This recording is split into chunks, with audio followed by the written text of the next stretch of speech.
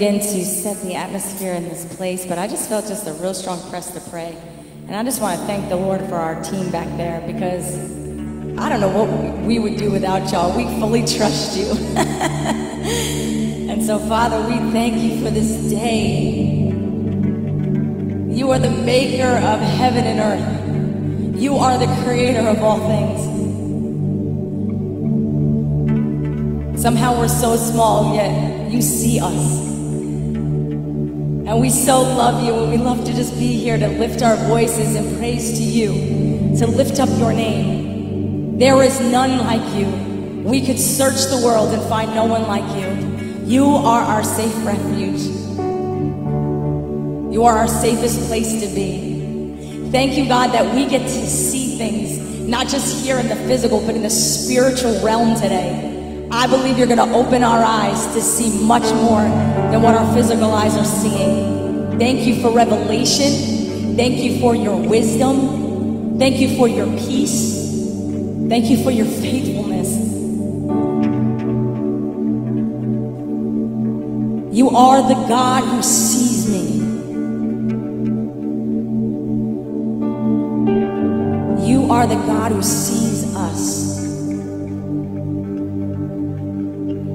for letting us see all that you are doing. Bless this service today, Lord. Move in a mighty way, a way that we haven't even seen before. Do something in us. Speak to us. We want to hear from you. In Jesus' mighty name we pray. And all God's people said, Amen. Come on, we're going to stand. Come on. Do you? What I see? Do you see what I see?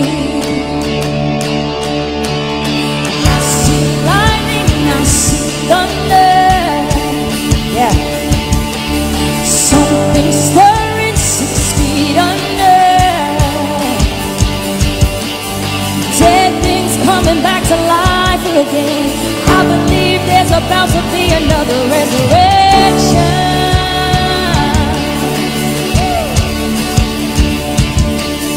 I see signs and I see wonders.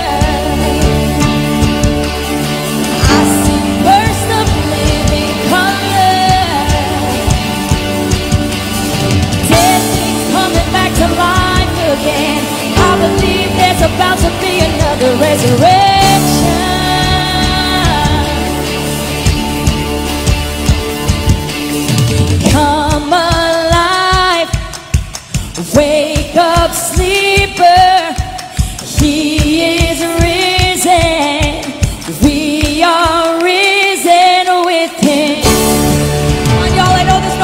There, but just sing what's on your heart. Hallelujah, it is. Yes, it is. See the grave, nobody in coming back to life again. I believe there's about to be another resurrection.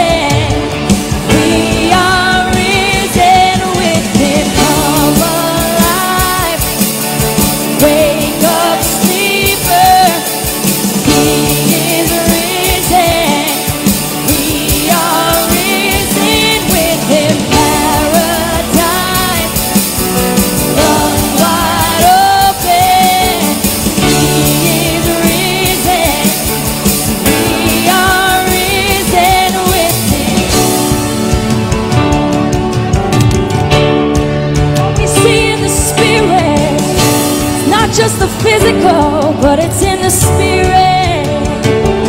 So if you see what I see, that the grave is empty, then you know what I know. Anything is possible if you see what I see. That the grave is empty, then you know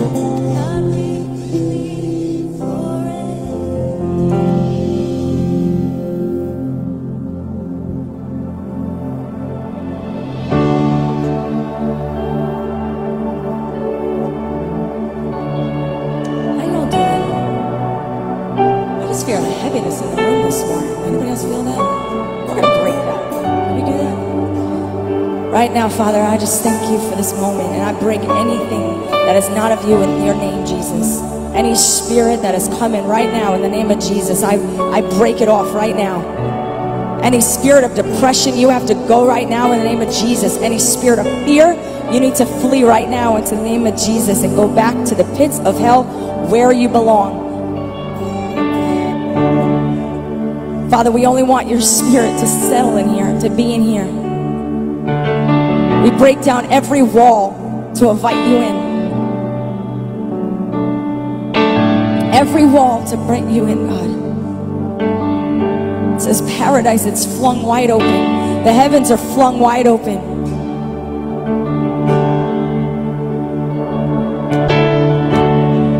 I just feel that I break the spirit of depression in the name of Jesus.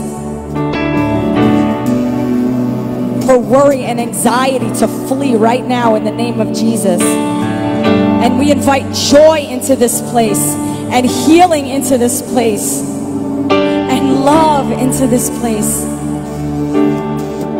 God, ignite a fire in us again. Ignite a fire inside of us that we actually can't control. That we have a burning desire to know you and love you and grow in your word.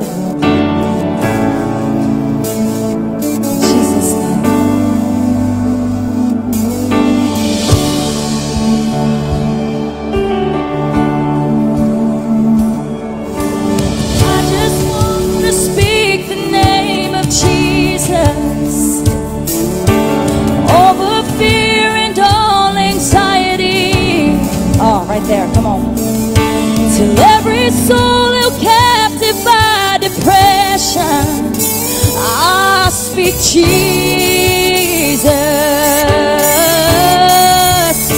Cause your name is power, your name is healing, your name is life.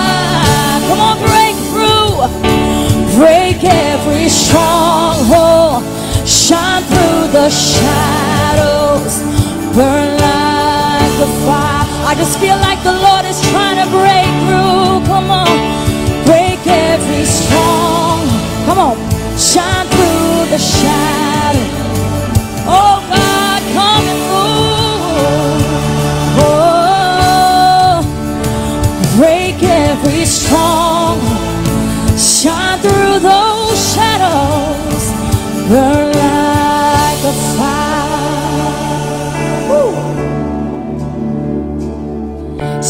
Jesus from the mountain, Jesus in the streets, Jesus in the darkness over every enemy. Come on. And Jesus for my family, I will speak the holy name of Jesus.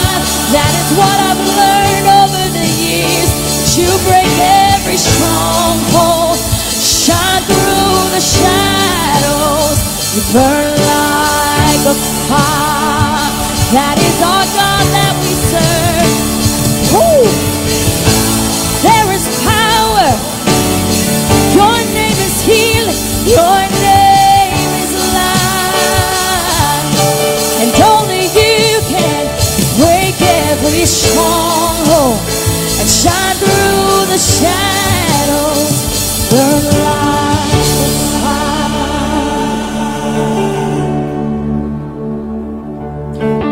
I just want to speak the name of Jesus over every heart and every mind. I know there is peace here in your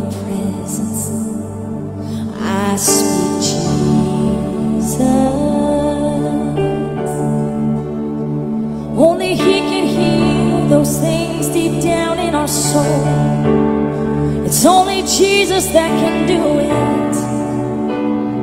Just have to remind you it's only Jesus that can do it. No words but the weight of the Lord. Shout Jesus from the mountain. Jesus in those streets. Jesus in the darkness over every enemy. Jesus for my family. Speak the whole. Come on, be in agreement with that. Jesus. That is what I will do while I'm waiting. I'll shout Jesus from the mountain. Jesus in the streets.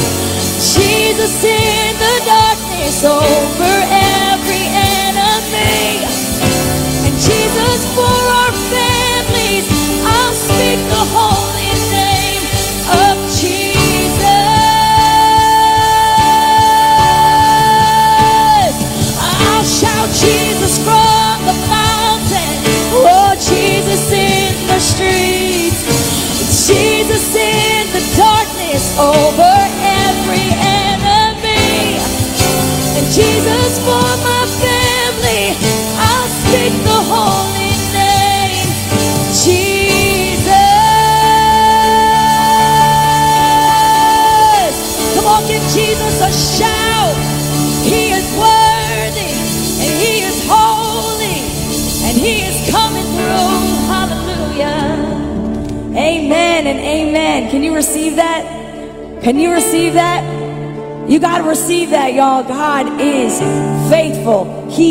Holy. He is majestic in all his ways.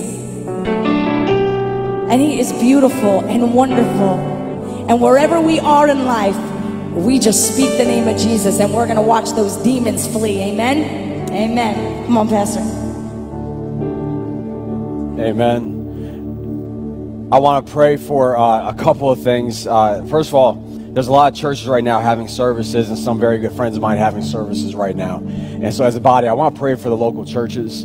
Uh, and a lot of you probably have friends that attend different churches, and and and some of them are, are more known than others. But we're going to pray for the churches that are having service right now that they would have breakthrough, that the power of God would fall in such a mighty way, that they would have healings and they would have miraculous things happening, signs and wonders that would draw people into the presence of God. So we're going to pray for that.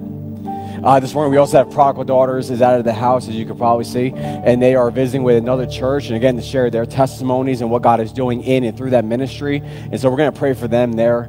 And then we're going to pray for us here. We're going to pray for each and every one of us that came in here with something on your shoulders you were never meant to carry. And so there, there, I, I felt it too, and I'm glad Melinda called it out. Um, that there's a, there's a heaviness in the room, and and sometimes it could just be like a, a like you had a rough week, and like you barely made it out the door, and you should be like like everybody should be praising God that you even showed up, right? Like I mean, like all hell broke through. I mean, it was like a horrible week. I'm here. That should be enough. But there's so much more in God. There, there's so much more than just showing up on a Sunday for God. And so I, I want to pray for us in here. If you're struggling with depression, or if you're struggling with, with, with negative thoughts towards yourself, or maybe your circumstances just aren't that great, and maybe you're having a rough week, maybe, just maybe, you're, you're in a little bit of a funk. We've all been there. Have you been in a funk? Yes? Okay, so we're not alone. We're in good company. And so we're going to be praying for us too. And so we're going to pray. We're going to get into the Word of God. I'm excited for today's message. Amen. Father, thank you for the churches, the body uh, of Christ that is in this area and around the world. Lord, we pray for every service that is taking place right now for every song that's being sung and every note that is being projected, for every instrument that is being played with excellence, Lord. We declare just freedom in those houses of worship. Lord, we, we pray breakthrough into those houses of worship. Lord, I'm going to pray for uh, specific friends. Pastor Dion at City Life up in Bradenton, we're praying for his church right now that they would be having breakthrough, that there would be people set free from bondage of sin. We're praying for, for Bayside. Bayside prays for our church weekly. Do you know that? So, Father, we pray for that church that they would continue to move in the Spirit of God. We pray for, for Church of Hope and Pastor Scott as he delivers a word this morning that it would set people free. Lord, we pray for uh, Pastor Brian at Passion Church, Steve Code at Oasis Church. The churches in the area where I don't know the pastors, but Lord, you know them and you know their hearts.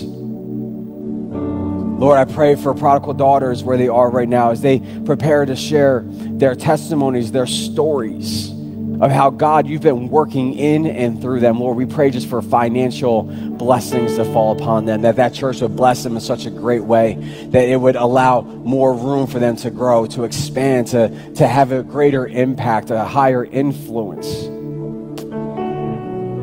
And Father, for us here in this house this morning, for those that couldn't be here, whatever prevented them from coming in, they're, they're probably watching online right now. Lord, I know that and they allowed something to stop them from getting here. For the rest of us, we made it here by the skin on our teeth. We had every reason not to show up. We had every reason to hide, to avoid. But like a moth to a flame, there is no running away from you. That for those that are home in their pajamas right now, for those of us here who wish we were home in our pajamas, Lord, I pray that your presence would fall in such a heavy way that any spiritual bondage that is in this room right now would fall off in the name of Jesus. That we would have breakthrough in our emotions and, and through our hardened hearts, Lord, to receive the joy that you offer. That we will find a comfort in your presence. And Lord, as you would remind us that morning, morning is another opportunity to praise your name. And so this morning, let it be your name that flows from our lips. Let it be as sweet as honey on our tongue. Lord, let everything we say and do be glorifying to your name. Father, I ask these things with the authority that was given to me by your Son, Jesus Christ.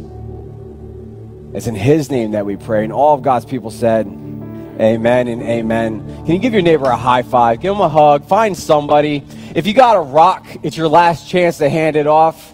Amen. Find somebody, pass it on. Bless somebody with a rock this morning. Amen. Amen. Amen. We're also praying for our our sound system, our lighting. Y'all can be seated. It's okay this morning. You can be seated. That's right. Relax. Relax. I'm proud of you for not sitting right away, though. Thank you. For those that you didn't, you're learning, and we're, we're in progress. Amen. But um, we're still having some obviously technical issues since the. I don't think it was a lightning strike. I think it was just a transformer that blew from uh, across the street. But it did its damage. And man, we're still trying to recuperate. Our phones don't work. Um, the TVs ain't working right now. We lost a refrigerator. We lost a freezer. Um, but God is still good. Amen. Amen. And so I, I, I do have a word for us this morning. We're in part six of this series. I'm over it. I am thoroughly, thoroughly enjoying this series uh, more than I thought I was going to. I'm going to be honest with you. Like, I was excited about it, and then when I got preaching it, like, it was stuff that I needed to hear myself. And so, even if you guys are like, eh, it's okay, I don't care. I, I'm, I'm thoroughly enjoying this series that we are in right now. We have two more weeks, one week after today. And uh, this week, I want to talk to you about ambition, and more specifically, selfish ambition. And, and if it even broke down further, I would say I want to talk to you about leadership and how we lead. And I get there's a lot of you in here be right now. I don't have anybody. I don't lead. I, I'm retired or in my job. I'm not the leader. I'm you know I'm under like 12 people. I just show up and I get clocked in and I get paid and then I leave. And some of you have kids. My kids are grown and I, I have nobody. I promise you that every single person in this room, you have somebody that is looking to you, looking up to you, and you are leading them, regardless if you know it or not. The smart thing to do would be realizing that you do lead people because you are living by example, hopefully. But when you are oblivious to the fact that there are people looking to you and you're living life just as if like you are completely uh, uh, incognito, like nobody sees you, then you will do and say things that don't bring glory to the name of Jesus. And so I encourage you to take the responsibility, take the burden, and know people are watching. People are watching you. They're watching how you handle things, they're watching how you speak, how you handle frustrations, and, and how you praise. And, and if you got somebody you live with that loves you, they probably watch how you sleep. They're probably, I'm, I'm just telling you, let's be real. Husbands, you watch your wives. They pass down, you watch them for at least a minute. It's not weird. It's not weird. I think that's healthy. Amen. Uh, give you a little bit insight into my own personal life, apparently. Um, but no, I, am excited for today's word. I'm excited for what God is doing. And I want to talk to you today about healthy leadership traits, and specifically two types of leadership. But more specifically, I'm over selfish ambition. That's the idea of today's message. I'm over it. I'm over it where it's, it's about me, it's about me, it's about me, but I want it to be about you. And that's the two different types of leadership. There's me leadership and there's you leadership. And uh, for the purposes of today's message, we're reading at Philippians chapter 2. Uh, it will not be on the screen uh, because our TVs are not working right now. But Philippians 2, starting at verse 3. If you got your Bibles, you can open up to. If you got your phones, I'll give you a moment. You can Google it. It's fine. Nobody's going to judge you. Judgment free zone. Amen. So Philippians chapter 2, starting at verse 3, reading all the way up to verse 7. Now, you know, I ain't going to make you stand. Stand to your feet. It doesn't feel right not standing when we read the word. That was that. Was that mm, like in preparation? Was that what I heard? Is like, mm, or was it like a ugh? I couldn't. I couldn't differentiate. I'm gonna assume that was a mm, like preach it, pastor. Like you're already excited, and I, am just gonna assume. I'm just gonna assume that's what I heard was a mm, like you you know this verse, and you're like, man, pastor's going to deliver a word. This is going to be good. That's what I'm believing. I just heard.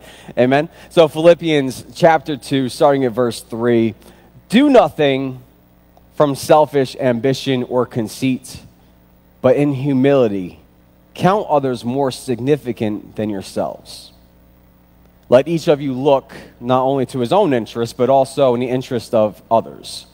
Have this in mind among yourselves, which is yours in Christ Jesus who, though he was the form of God, did not count equality with God a thing to be grasped, but emptied himself by taking the form of a servant, being born in the likeness of men. Now, rarely do we, we find anybody who will actually acknowledge that they are full of selfish ambition. They'll say, I'm motivated. They'll say, I'm on the grind. They'll say, like, I'm, I'm just trying to get paid. Everybody's got different ways of saying it that they're just trying to get ahead. They're trying to make a name for themselves. But I believe that there is a line that is easily crossed, not easily seen, but easily crossed from where it is about expanding what God has given us and then trying to take things outside of the will of God. And that's often where we go into selfish ambition or conceit. And so this morning, I want to challenge you don't, don't be offended.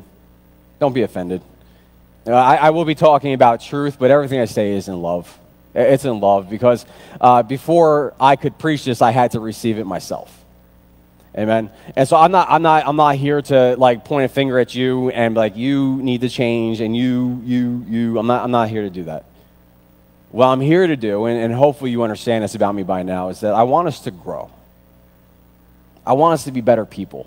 I want us to be true followers of Christ.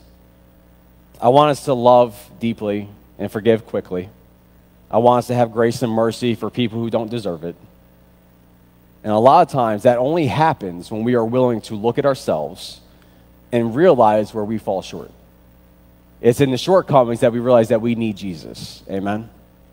And so as we prepare to go into this, just if you can, if you can, and I got rocks, I'll throw them at you. I, if, if you can, just drop the borders. Drop the drop as many boundaries as you can. The things that stop the word from penetrating your heart bring down as many of the defenses as we can. And i promise you i promise you god will speak something through me that you need to hear. Amen? And again i'm speaking from personal experience. This is my own walk that god is showing me things in. My leadership style as a father as a husband as a pastor as a friend as a brother. Like I, god is showing me areas where i can grow. And there's nothing wrong with that because if you think you've arrived, then why are you here? Amen? We are in good company. Why? Because we are so far from the finish line, we can't even see the ribbons yet. But God promises that if we are faithful to walk the walk, that He will bring us to the finish line. Amen? And so I'm going to pray for us one more time. Then you're going to smack your neighbor on the way down. If you ain't got a neighbor, you can smack somebody, just air high five. It's, it's all good. Um, last chance. If you got a rock, now is a chance to hand it off because if not, you're coming up at the end of the service. Can I just tell you that? So if you got a rock, hand it. And for those of you who don't know what I'm talking about, you might be getting it. Amen? It's like a really fun version of Christian hot potato. That's what we're going for here. Um, but Father, thank you for these people. Thank you for your word. Thank you for the opportunity to grow in you. That you've never called us to be perfect, you just called us to be willing. You never asked us to be perfect, you just said that perfection is achievable when we are in Christ. And so, Lord, help us be in Christ today. As we receive your word, as our hearts prepare to receive the seed, Lord, remove me out of the way. We ask these things in Jesus' beautiful name. Amen and amen. Give your neighbor a high five, give him a hug. If you got a rock, hand it off now. It's your last chance. Do it. Do it quick. Amen. Amen. So I'm, I'm excited. I'm excited for this word. Um, I've been, I've been kind of sitting on it all week, and he's been showing me different aspects. And, and one of the things I love to do, I love to read about leadership. I just got a new book. Oh, my wife got me a new book. And I'm excited. You, you got the rock? Yes. Um, I'm excited. I'm excited because as I, as I learn different leadership traits, I, can I give you a little bit of insight to, to me? Like, there, there's something. I mean, how many of you here would say that you're a natural leader? Like, just show of hands. Like, you think like you're a natural leader? Two people. Praise God. It's all good. I, am to say, for me, when I was in school, we used to play these games in gym class, and I had no idea that their games were, were done in a way to see the potential that were in the children of the class. And so we played these really cool games where uh, the teachers would give us these shapes. And so you had like stars and different pentagons and all these different shapes. And the goal was all the kids had to work together. And we were in groups of like 15 to 20, and I was probably like maybe third or fourth grade and we had to form the shape on the ground using our bodies. And anybody who has a third or fourth grader or who has ever been a third or fourth grader knows we don't take like directions that well. And so there was no adults. They handed the shape to us and said, figure it out. And after about 10 minutes of, of this, like everybody's kind of screaming, got the kid in the corner licking the wall, and, and everybody's doing their thing, right? And, and, and I'm getting frustrated because it's, it seems pretty simple to me what we have to do. And at one point, I finally just, I step in, I take the paper, and I start telling everybody what to do. I'm like, you lay this way, you lay this way. I'm, I'm directing their body, I'm moving their feet, I'm, I'm, I'm pointing their hands and we finished before anybody, it was five different groups of, of kids, and we finished before anybody else because we had somebody step in and start taking direction. And so I was always naturally inclined to, to step into that role. I, I, never took it as like a, a gift from God. I just thought maybe I was a little bossy, or maybe I saw things, or maybe I did things that other people wanted to do, but they didn't take the initiative to do. But this is a pattern that's been happening in my life. Like, if I got into a job, it wasn't long before I got promoted into some form of leadership. And it was never something I chased after, it was just something that kind of naturally came. And it wasn't until I was probably in my mid 20s that I realized the burden that comes along with that gifting.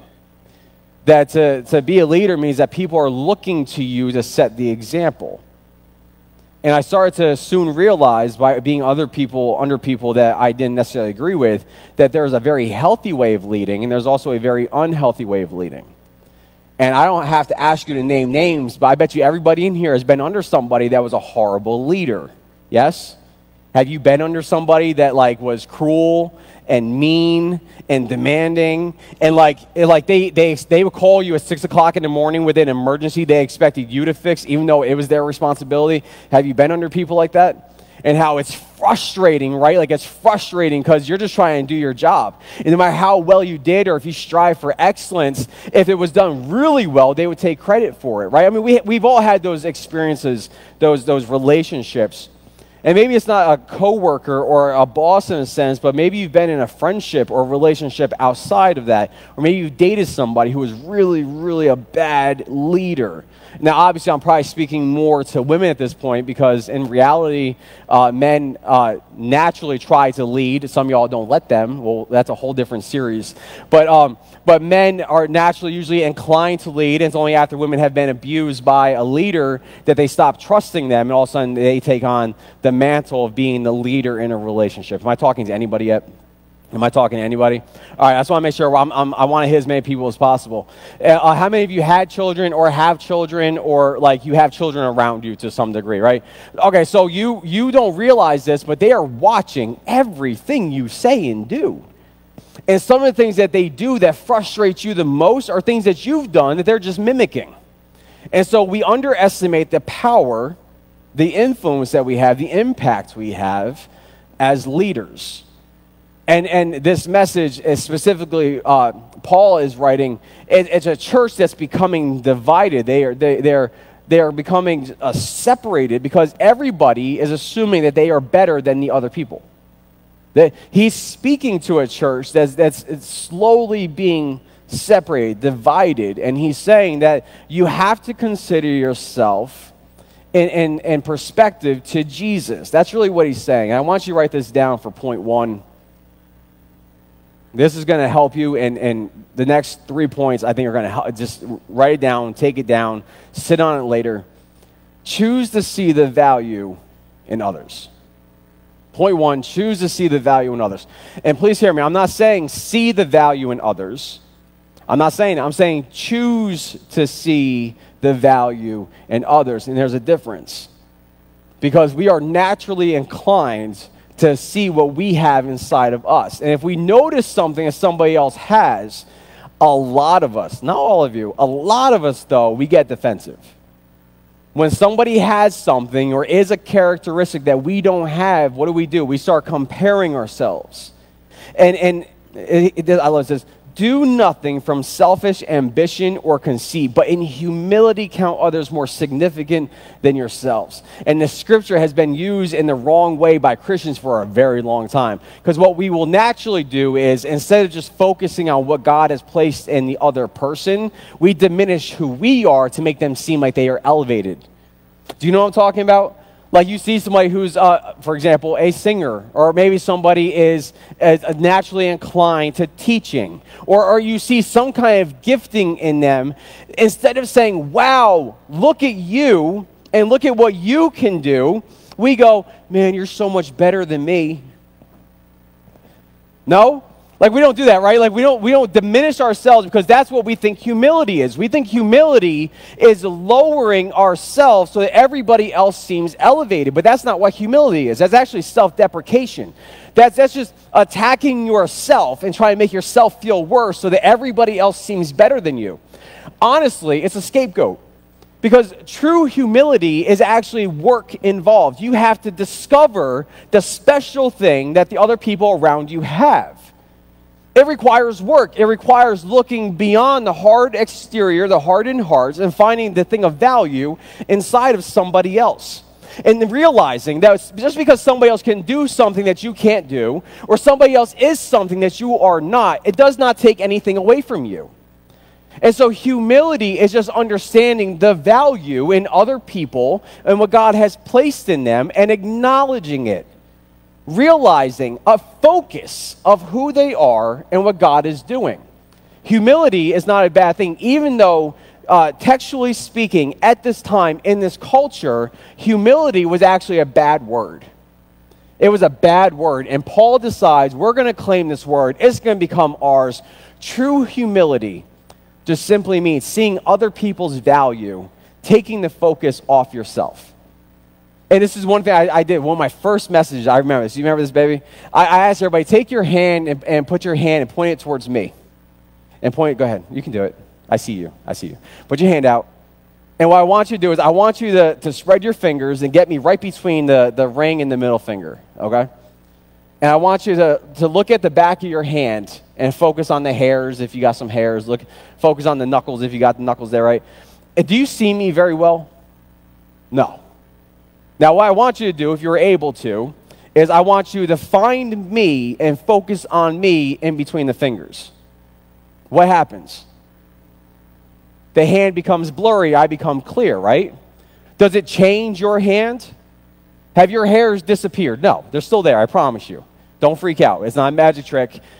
You want to know what happened? Your focus was shifted off of what's in front of you or yourself and now you are seeing somebody else. And what that does, it diminishes what you see about you. this is a great place to be.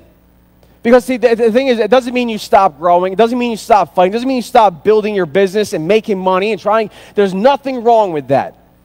But when you come from a selfish ambition, you look at the world like this. You stare at the back of your hand, every detail, every hair, every, every follicle, every wrinkle, when you are coming from a place of selfish ambition. And Paul says the only way to take the focus off of yourself, to become less selfish or selfless, is to focus on the people around you. And so we are called as Christians not to stop looking at our hand, but to see everybody else through the lens of Jesus. That is humility. And I asked everybody, not everybody, I asked three people when they came in today. Raise your hand if you're one of the three that I originally hit. It was Andy, it was Gerald, right? And who else was it? Ty, yes, the three of you. So I handed them a rock and I asked them a simple task. All right? At least I thought it was simple. Did you guys think it was that simple? Because y'all looked panicked when I first talked to you. A little? So what I did was I gave them a rock and I said, here's, here's one simple task find somebody else and do one of three things. One, either give them a hug and tell them they are loved, give them a compliment, let them know they look beautiful today or they look handsome today. Or if you know them well enough, share something you admire about them. And so, all three that I picked, I shared something personal that I admire about their character and who they are. And the task was for them to pass it on. So, who got the rocks after the original three? Two, three, four. Okay. So if you got the rock today, can you raise your hand? Okay, perfect. So not everybody got it, and that's okay. Had we been here uh, a little bit earlier, you could have participated. Future reference. But, but, but what I want you to understand is that the task of simply seeing something in somebody else seemed like a daunting task, yes? First of all, to have the courage to go up to somebody and simply say something is difficult in and of itself. It's easier to give a hug, like, oh, hey, you look beautiful today. Here's a rock. Pass it on, right? Like, that's, that's the easy out. But I said, I, I encourage you. My personal choice is find a characteristic in somebody that you admire and point that out. Why? Because we're not naturally inclined to do that. Even in church, we're not naturally inclined to see the beauty in other people. We're not. I remember, I wish I knew this. I mean, I really wish I knew this back in high school. Like, because in high school, I was convinced that everybody was constantly talking about me, and everybody was concerned about me, and everybody didn't like me, and me, and me, and me. And, and as somewhere along the line, I realized we are so caught up in our own problems, most of you don't care about the person that's in the same room as you. Can we be real? Right? Nobody's going to acknowledge that part, right? Can we be real for a moment? Like, the truth is, we are so caught up in our problems and what we're going through we're not often concerned about other people to the extent that Paul is challenging us to be concerned about. And you can write this down for point two. Let's go into point two. Success isn't about what you gain, but about who you gain. You see, the, the idea that the world has put out there is that and, and, book after book after book. It's, it's characteristics, it's, it's, it's styles of leadership on how it can make me better, how it can make me a better leader, how I can get what I want to get done, how my task and my vision and what I see. And it's, it's one thing after another, and how you can become a great leader by changing things that you see to, to match what you see. This is dysfunctional. It really is. Like, I've read so many books about businesses and the business idea. I mean, the, the one thing I learned in the secular world working is that if you want to get ahead, you have to hurt some people along the way. Anybody else have to come to that conclusion? Work, I mean, I remember working at 84 Lumber 84 Lumber, good old days, has provided so many sermon illustrations. But 84 Lumber, and they had me as a, a, a, sales coordinator, which means that I would basically do all the work while my salesman made all the money. That's it. That's really what a sales coordinator, I do all the work, they make the money. And so what would happen is like a door would get ordered incorrectly. And you're talking 10, $20,000 doors and windows and all these really fancy things. And what would happen is if something came in wrong, as in the order wasn't either put in correctly or they sent the wrong item, it was my responsibility to call the, the company and convince them to give a full refund and to let us keep the item. Now, this is not easily done and often requires, as I was encouraged to do, lying. That's what I was told to do. It, listen, if it was our mistake, lie tell them that's not what you ordered, they got it incorrect, lie. If something comes in, go in the back and break it and say, hey, this came in broken. Like that, I mean, that, that was the mentality because it, they were not going to lose the money and I wasn't getting paid enough. And I remember sitting down with my manager, Lou, and I told him, like, you know I can't do this, right? He goes, do you want to be a sales coordinator? I'm like, I am a sales coordinator. Do you want to keep your job? Of course I want to keep my job. Then lie. And so what I learned to do was I lied, but I lied to him. Okay? God forgives me. I lied to him and act as if I was doing what he wanted me to do. But secretly, I was being honest with the other companies. Hey, listen, like, this is what happened. Can you help me out? Like, can you, can you hook me up? Like, I, I would actually just use who I am to try to get what we needed. If it didn't work, then I would explain to them, hey, they, they didn't catch on. And I would try to justify it. But the truth is, in, in the real world, not the Christian bubble that a lot of us like to be in. In the real world, if you want to get ahead, it requires doing things that you don't want to do with people that you don't like and being a certain way and having a certain character. And even if it's not really you, act like you do so you don't pop out. I mean, that is what the world will teach you. If you want to get ahead, I mean, in the music industry, movies, all these different, it's backstabbing, it's hurting, it's, it's sabotaging, it's taking away from somebody else so we can get to the top of the pyramid. And there are people that will do that. And I would love to say this is just like the, the Fortune 500 companies, this is just like the CEOs of these major corporations that do this, but it's not. And this is what I was reading. It's like we have husbands and wives and mothers and fathers and children and friends and, and brothers and sisters who will stab each other in the back just to reach some form of pinnacle, to get some form of success.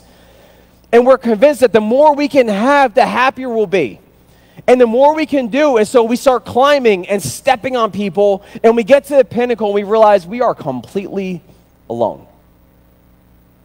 Everybody who loved us, we sacrificed. And why? To build an empire, to, to build a name, but not God's name, not God's kingdom, but our name, our kingdom. And so we'll spend our time and our money and we'll sacrifice. Every form of success comes with a sacrifice. I'm not saying you won't have to sacrifice. What I'm saying is, is choose your sacrifices wisely. Because what you value today might not be what you value down the road. And there are people I know that wish they can get back time with their children because they sacrificed it for something that has no meaning today. There, there are people that would, would kill beg God for an opportunity to go back in time and change how they approach their marriage what they said to their spouses, what they did in the early stages. But they were so focused on themselves. We were so focused on us that we missed our opportunity. Now, the good thing is we serve a God of redemption, we serve a God of grace, we serve a God that's outside of time. So there, there's a way that he can redeem those things for us. But the truth is, is that we are naturally inclined to be selfish our ambition, our, our goals are often about what we can build and how we can get attention and how we can have a name and how people will look up to us. And I would love to tell you, like, that's in the outside world, that's in the secular world, that doesn't happen in churches. It's just as prevalent in churches as it is outside of churches. That there, I, there are people that will, will fight and, and climb to get into a position, not because where God's called them to be, but simply because it gets them more attention.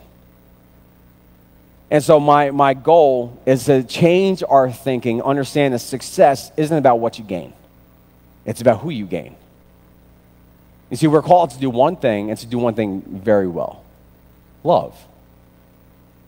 I love because in, in Scripture it says that God says this Isn't my word like fire?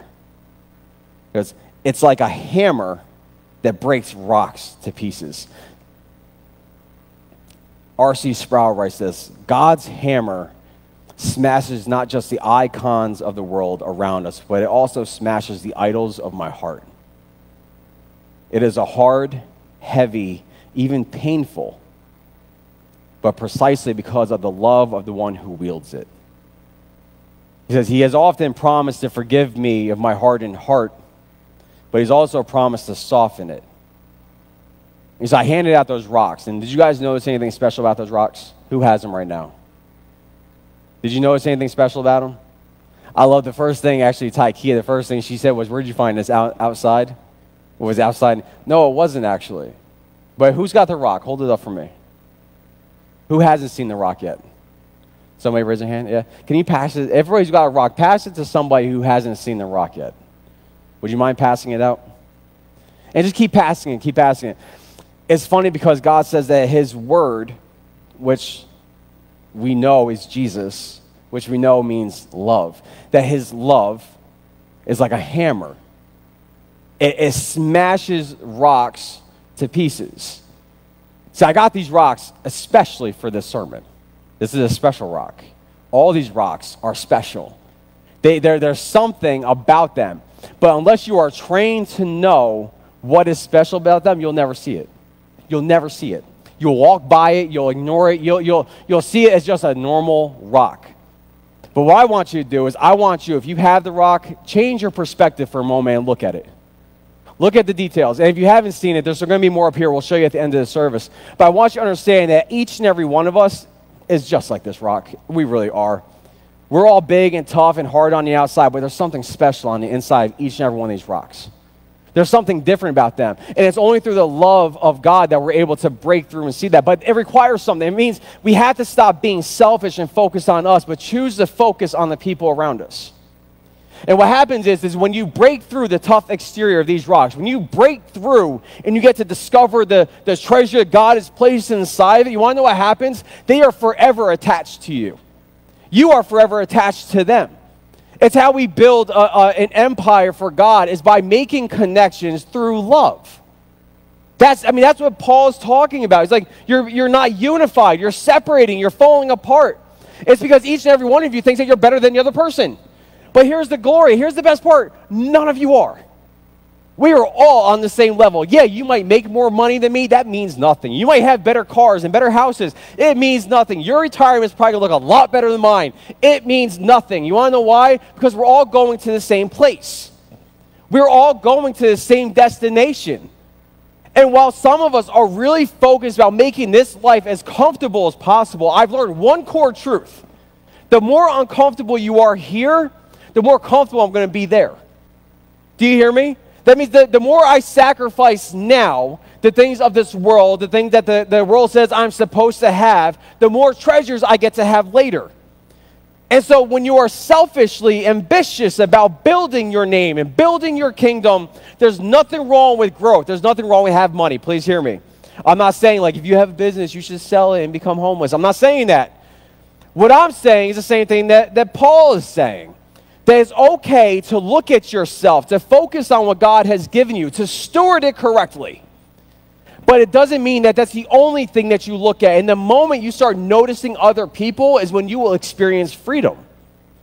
And here's how. You want to know how? He actually gives us the answer. And this is point three empty yourself through continual serving. I initially wrote empty yourself through serving. But then I, I, I, remember I've met people. And, and I want you to hear this continual serving. And here's the difference there are people in here who, who live, uh, maybe not here, on Facebook, some other country, some other nation, because y'all ain't like that. There are people that are potentially going to watch this in, in Zimbabwe that are extremely selfish, but they have a sense of righteousness because they serve every once in a while. Well, do you know who I give to? Do you know what I give? I love that line. Do you know what I give to this church? I don't know what y'all give to the church. Amen? I don't want to know. You want to know why? Because I might preach a little bit differently. I'm not trying to be corrupted. So, so there are people that will say, do you know, I, I, I volunteer. I, I give time. I give my money, but they do it just as a scapegoat so they don't have to feel the selfishness that they often struggle with.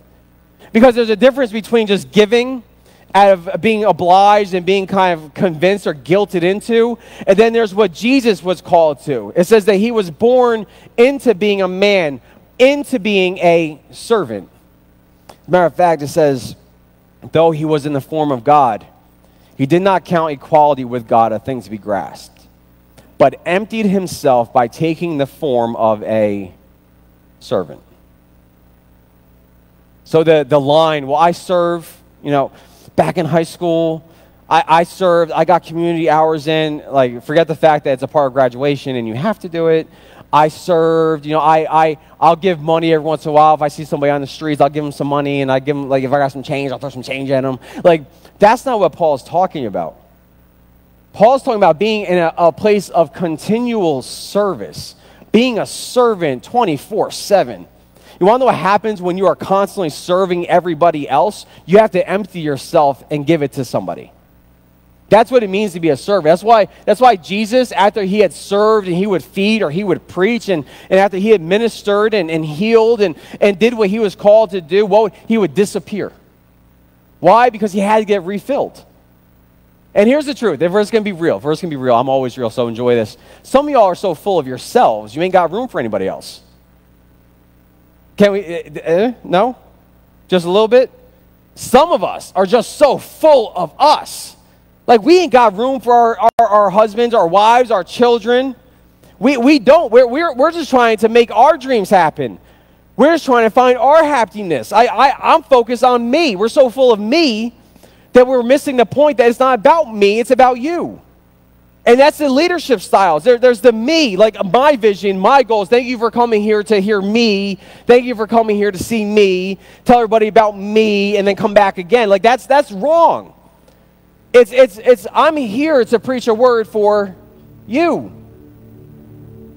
God gave me a word. Yes. Did I get something from it? Absolutely. But it's not for me. It's for you. And here's the best part, and I, I preach this at the growth track. So if you ain't been through, you got to come through on growth track. But here's the thing once you've given your life to Christ, has everybody in here basically done that, right? We've gone through that process. We've sacrificed. We've given our life to the Lord. We've been baptized. It's a beautiful experience. But we forget that once we do this, it's not about us anymore. It's, it's literally there's a switch, there's a flip. Like like everything leading up to that moment is geared towards us, like drawing us in, showing us grace, showing us mercy. Realize that we are forgiven. Everything, this beautiful experience, this courting, it's like yes. And then the moment you give your life to the Lord, you're a part of something else. I love it because back when uh, I'm, I'm, I'm watching documentaries, so George Washington, he's writing these letters and he was saying we, we, we've come together to fight on behalf of the cause. Capital C, cause. That when you enlist, it's no longer about what you think, it's no longer about how you feel. I hate to tell you that, but it's not. It's about the cause, capital C. I think if we would understand that, if we would understand, not that God's not concerned about you, not that God doesn't hear your prayers about your situation, but you're no longer living for you. That you now have a new life, a new hope, a new, a new foundation. Do you think it's just for us to come to church and feel comfortable? It, it, it's not. Like, like yes, come and, and realize that you have a firm foundation. Your salvation is rooted in Christ Jesus. Amen. But that's not why we come here. We come here to get filled. Why? So we can go out for somebody else. And here's the best part. See, y'all, you didn't know that, right? You signed up and now you're recruiters. That's what you do. You're recruiters now. Like once you go to the recruiting office and you join the military, you're in. And then you're given a task, you're given a job, a purpose in life. You don't keep going back to the recruiter trying to find something else that you'll feel fulfilled in. When you enlist, you're enlisted and you get the given the job that God has given you. That's it. And, and I, I love that because y'all are enlisted. This isn't the recruiting office. This is the battleground. We come in here, we get filled, we get our ammunition, we get we get what we need to fight the good fight, and we go back out to save the souls. You are a part of the cause. Dude, I, I need you to receive that. I know it's like that's not like a cheer. I, I mean, I'm like I, I cheer on the inside about that. I'm like that's awesome. That God would entrust me. That God would trust me to go out and and and preach, to lead like God would put me in a position, me. See, y'all don't know me like I know me. Okay, I know me. My wife knows me. I think even she wonders sometimes, really you? Like, yeah, like me. Can you believe that? God chose me to, to preach his word. He chose me as a part of his nation, his people. That I, I, I go out now. I'm a representation of the kingdom of God. Like, we don't live like that, though. We don't live like we're a part of a, a mighty nation, a, a, great group of people. We don't live like we're part of God's people. We're living like we're servants, but to the world, and that's not how it's supposed to be. We're called to serve. the cause, to serve the purpose, to serve the kingdom, to draw people in. That's it. And selfish ambition gets in the way of that. Selfish ambition hardens our heart. It takes the focus off everybody else and it puts it on us. It's only through serving that we start to see people popping up on our radar. We start to see like the, the things that are broken about the world. And all of a sudden, the more we serve, the more we're serving, and we're serving our spouses, and we're serving our children, we start to realize there's beauty in the world, but there's brokenness. You see, most of us, you drive down the same streets because you know it so well, you don't even notice when something new comes up. You don't even notice it when something's broken until it affects you somehow. And unfortunately, most of us treat people like that. We look at people like, can you help me? Can you help me in my cause? And if they can't, they have no value. Paul says that's not how we are called to live. We live in a way that we find the value, we see the value. But more than that, we cultivate the value. We, we draw it out of the people around us. We show them that inside, no matter how much you've been broken, how much you've been hurt, and how much the world has just dunked on you and trashed you, and you think you have no value, in Christ Jesus, we all have value. And I'm going to try something. I, I hope it works. It, I, if not, I have the examples up here. this is going to be interesting. Who can I who can I take? Corey, would you help me? Would you help me? Here, catch the hammer, okay? No, here, come here, come here, come here. Anything special about that? Who else has a rock? Can I see that one? Anything special about it? Yeah? Think so? How about that one? I mean, they're pretty cool. I mean, they're, they're different, right? Different shapes, different colors. It's, it's it's it's like the the surface level. like just seeing this is like me saying, "Oh hi, how are you? Okay, it's good seeing you again. I'll see you next week." Right? That I mean, when we look at the surface of something, that's what we see. I'm going to try something. Pray for me. Ready? Oh, please.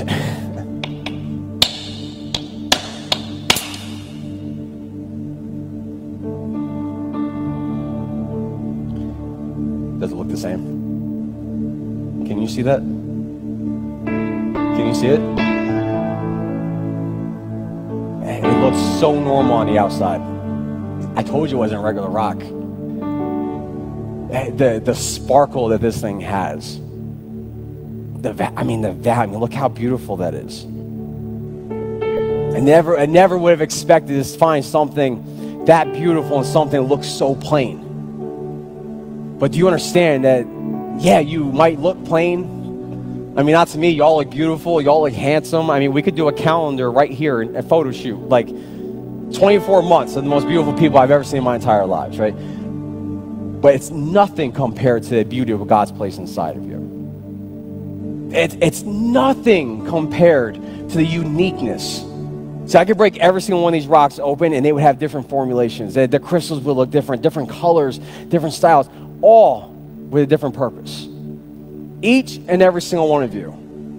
But here's the thing I could sit here and I can, I can preach to this. You ever preach to a rock? I've done it on Sundays. There's, I might as well have been preaching to rocks. All right. There's been times I preach, I'm sweating, I'm spitting, and they look like rocks. Okay. It will never break open. But God says, My word is like a hammer. That my, my word is like fire, it is like a hammer, and it will break stones to pieces. Eh, do you understand the power of God's word when it flows from your mouth?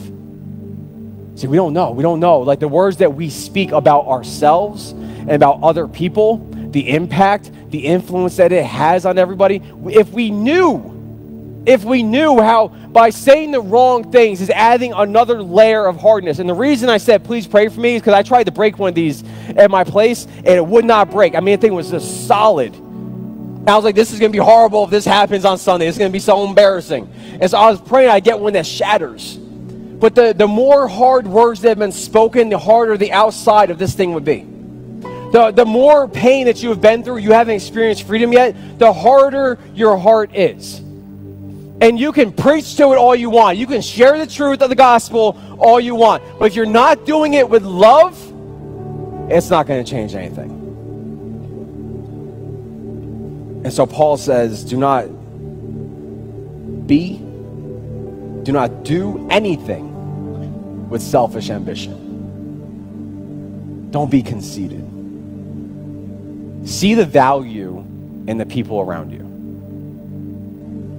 Look at your situation, but don't avoid the situations of the people around you.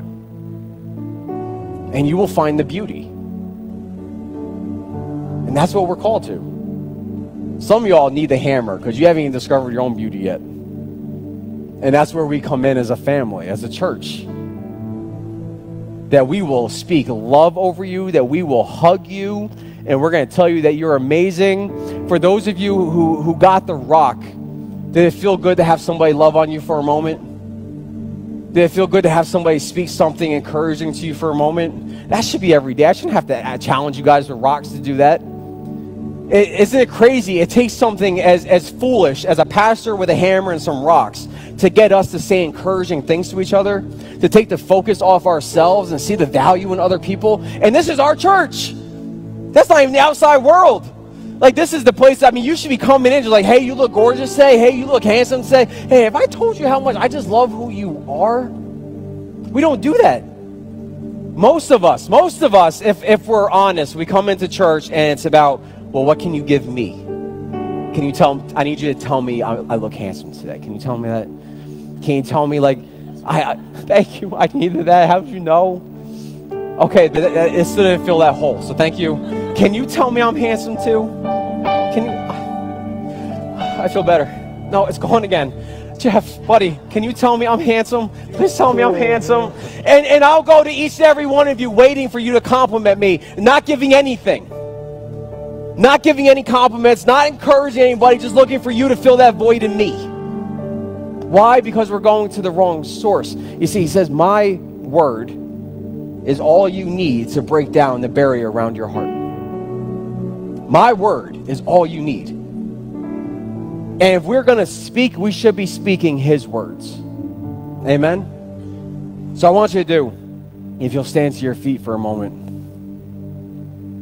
I, I think I'm going to try to break the big one. I think I'm done for now.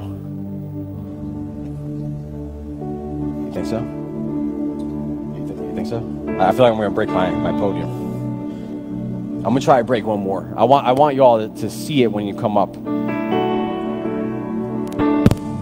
Amen. What I want to do is we're to go into a time of communion after we, we sing this song and you guys know the routine. We're gonna come here, we're gonna receive the elements, and we're gonna we're gonna remember what God did for us. I, I, I think that most of us will, will say, like, oh yeah, he, he died for me and you know, I have I have salvation in him, but I want you to really get it into the core of your being, into the, the foundations of who you are. That he chose you. That you are a royal priesthood, that you are uh, people that have been set apart. That people are going to think that you're weird, and people are going to think that you're nuts because you dedicate time to other people. That, that you love on other people. I heard this quote the other day, it was absolutely beautiful. It said that the church has spent so much time giving truth without love that the world has come back with love without truth. That's a dangerous place to be in. Just love everybody. Just let their truth be their truth. Just love everybody. No, we're called to give truth in love.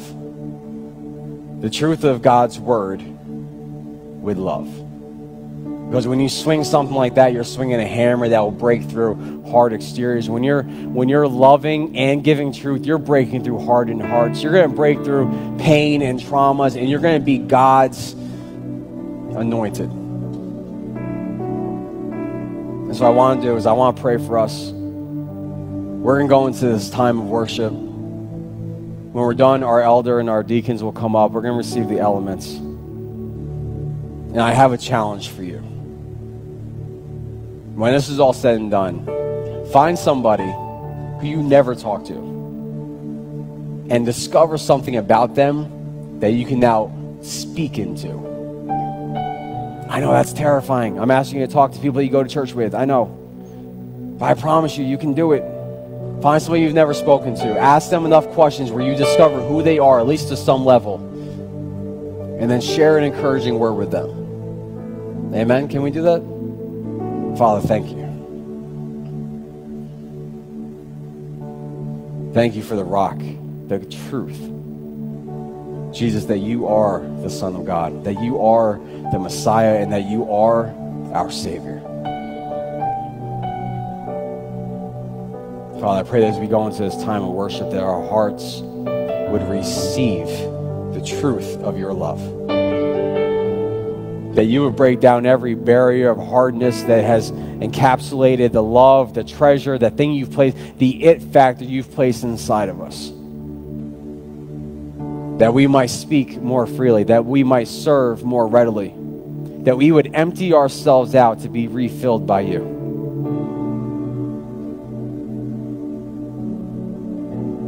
God, I love you, Jesus. Lord, have your way in this time. It's in Him name that we pray. All God's people said,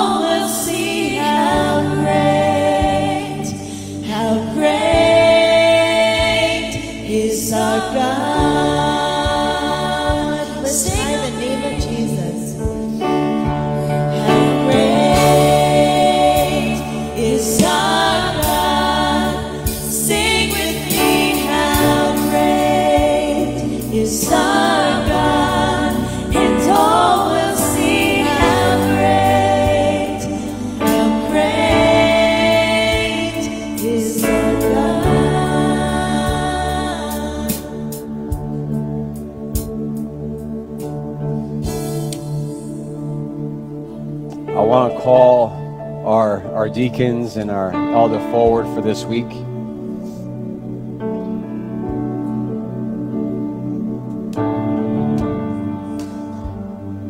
You know, it's I, I I love this song, and because of the simplicity, I think just how great is our God. And I could talk to you about the the formulation of the solar system and the intricacy of time and space and how space is constantly expanding and all that stuff like and how all of that came from the, just a simple word of god. He spoke and there it was.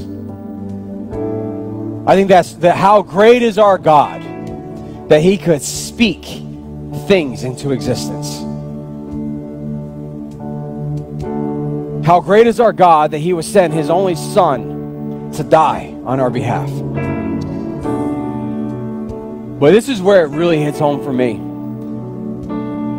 When I look at who I was and who I am, the power of the words, how great is our God, rings so true. It's one thing to look out and see the beauty of everything around us and realize how great He is. The challenge is looking at the broken pieces that God mended back together and the beauty that's been formed within us. That is the greatness of God. So, wherever you are, in all your beauty, in all your splendor, and the creation, the way God formed you, come forward and receive the elements.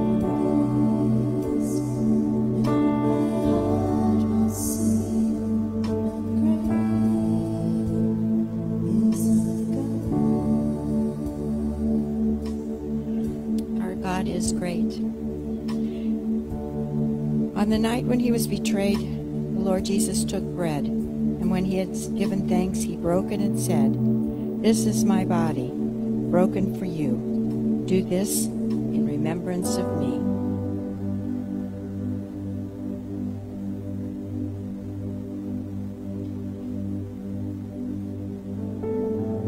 And afterwards he took the cup, and he said, This is my blood shed for you.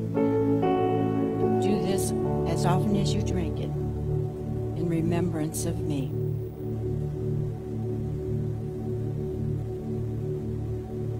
Heavenly Father, we do indeed give you thanks for the gift of your Son. You gave him to us in love, and we accept.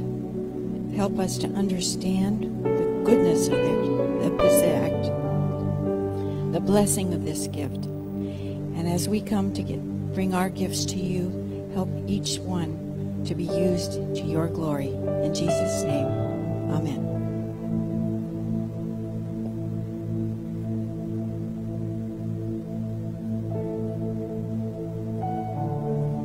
No, I, I, I touched on a, a topic somewhat in preparation for this, and the idea of finding the beauty, not just in the outside, but the inside. And, and Melinda pointed something out to me when I said it. And I, I think it's where a lot of us get caught up is that it's a lot easier to change the outside than it is to acknowledge the inside. You know, it's, it's easier to dye our hair, cover the grays, you know, lose some weight, work out, than it is to cultivate and allow God to break through our hearts and allow the beauty to be shown. And so we are called to take pride in how we look and how we carry ourselves. We are a representation of the kingdom of God, of course. But don't sacrifice the beauty God's placed inside of you by focusing on what people can see. Because you will never be satisfied. You will never be fulfilled. And God's called you to such greater things. Amen. And so I want to pray this. Go now in the name of the Father, the Son, and the Holy Spirit. Knowing that the only thing He made more beautiful than your outside is your inside. He loves you. We speak these things in Jesus' name. Amen. Find somebody nearby. Just give them a hug. If you still got a rock, pass it on to somebody. Just, just speak an encouraging word to somebody. Amen. I hope to see you all next week for the, the finale of our series, part seven. If you're going to stay for Growth Track, we're going to be meeting in here. Uh, following our growth track this month, we're going to be doing a growth track meeting for those that have finished to start assigning purpose in the